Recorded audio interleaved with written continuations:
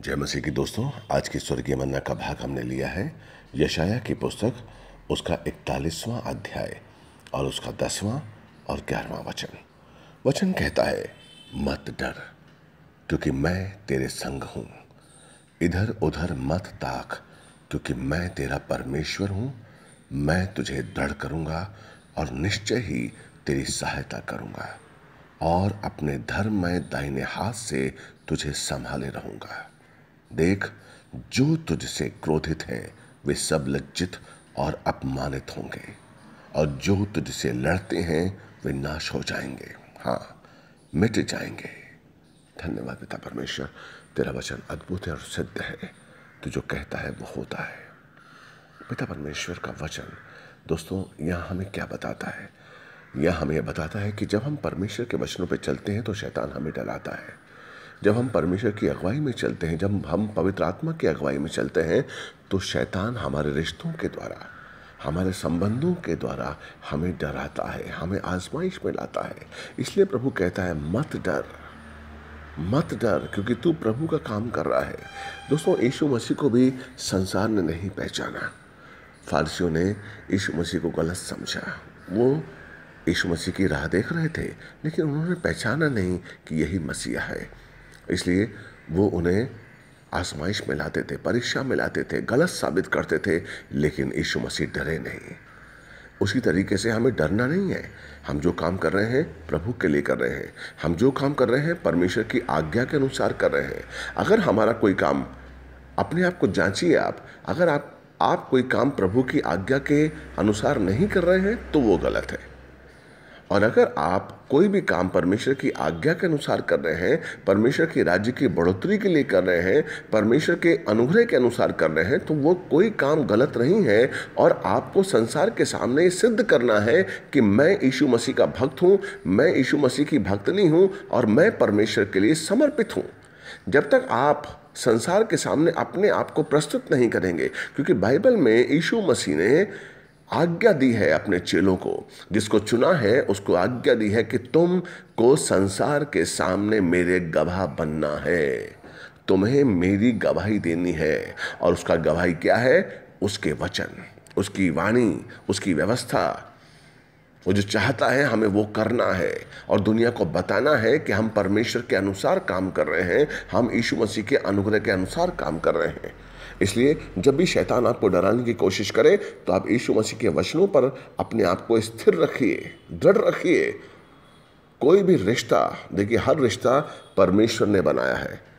Bible बताती है कि हर रिश्ता परमेश्वर की ओर से आता है, परमेश्वर ही बनाता है। इसलिए हम उस रिश्ते को टूटने से ना डरें, क्योंकि परमेश्वर ने ही रिश्ता बनाया है, परमेश्वर हमारा पिता है और परमेश्वर ही हमें संभालेगा। लेकिन परमेश्वर आपसे दूर कब हो जाएगा? जब आप डर कर परमेश्वर से, परमेश्वर की नहीं, संसार की सुनेंगे। जब आप संसार की सुनेंगे, जब आप शैतान की सुनेंगे, जब आप अपने रिश्तों की सुनेंगे तो आप परमेश्वर से दूर हो जाएँगे। इसलिए चौकन्ने रहिए। हमें परमेश्वर से दूर नहीं होना है। कोई भी स्थिति, कोई भी चीज़ हमें परमेश्वर से दूर नहीं कर सकती है। इसलिए रोमियो का आठ का अट्ठाईस क्या कहता है, अगर उसे हम ध्यान से पढ़ेंगे, अगर हम उसको ध्यान से समझेंगे, तब हम पाएँगे कि अद्भुत परमेश्वर का आशीष हमारे साथ है और वो हमारा निगेबान है, वो हमसे दूर नहीं होगा। हालेलुया। इसलिए रोमियो आठ का अड़तीस क्योंकि मुझे पूर्ण निश्चय है कि न मृत्यु, न जीवन, न सरदूत, न प्रधानताएँ, न वर्तमान, न भविष्य, न शक्तियाँ, न ऊंचाई, न गहराई और न कोई सजी हुई वस्तु हमें परमेश्वर के प्रेम से जो हमारे यीशु मसीह में है, अलग कर सकेगी। इसमें हर रिश्ता आ गया, मेरे दोस्त, मेरी बहन, इसमें हर रिश्ता आ गया। इसलिए हम इस बात से हमेशा स्थिर रहें और बिल्कुल संतुष्ट रहें कि प्रभु का प्यार हमारे साथ है। हम जो कर रहे हैं, प्रभु के लिए कर रहे हैं। शैतान हमें आजमाइशों में डालता है, शैतान हमें हम, हमें परीक्षा में डालता है, शैतान हमारे रिश्तों के द्वारा हमें भावनात्मक रूप में ब्लैकमेल करता है।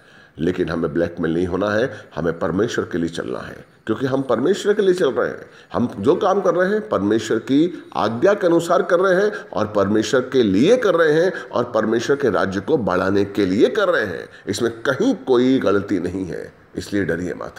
डरिए मत। जब हम डरेंगे तो पाप करेंगे। जब हम डरेंगे तो परमेश्वर से दूर हो जाएँगे। जब हम डरेंगे तो शैतान हमारे जीवन में काम करेगा, क्योंकि वो आपको डरा रहा है, क्योंकि आपके द्वारा उसका राज्य बढ़ रहा है, क्योंकि आपके द्वारा परमेश्वर का राज्य बढ़ रहा है। परमेश्वर की गवाही आपके द्वारा दुनिया जान रही है कि उसकी महिमा क्या है। यही तो नहीं चाहता है शैतान।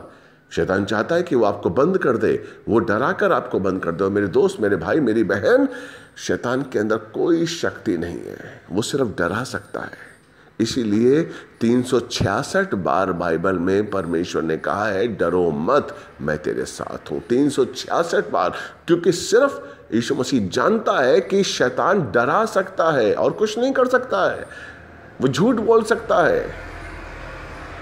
और आपके आसपास जो माहौल है, जो यीशु मसीह को नहीं जानता है, उसके द्वारा वो आपको डराएगा। इसलिए डरिए मत। परमेश्वर में बने रहिए। अंतिम समय है मेरे भाई, मेरी बहन। प्रभु आने वाला है। यह आजमाइश का समय है। हमें अपने आप को संभालना है। हमें अपने आप को स्थिर करना है। कोई भी रिश्ता परमेश्वर से ऊपर नहीं है। कोई भी रिश्ता यीशु मसीह के प्यार से ऊपर नहीं है। कोई भी रिश्ता क्रूस के ऊपर नहीं है। यीशु मसीह ने आपके लिए बलिदान किया है। यीशु मसीह आपके लिए मरा और मर के ज़िंदा हुआ है। ये हमेशा याद रखिए और आपको उद्धार का दान दिया है उसने। स्वर्ग आपका है। ये याद रखिए। आइए हम प्रार्थना करते हैं। धन्यवाद पिता परमेश्वर, आपके पवित्र सामर्थ्य नाम के लिए धन्यवाद। सुनने वाले हर भाई बहन की आँखों को खोलिए, मन की आँखों को ज्योतिर्मय करिए यीशु मसीह के पवित्र सामर्थ्य नाम से मांगते हैं। प्रार्थना अपने सुनने को भूल किए मैं डर को निकालिए उनके मन से, उनके जीवन से ऐसी प्रार्थना करता हूँ। Amen amen amen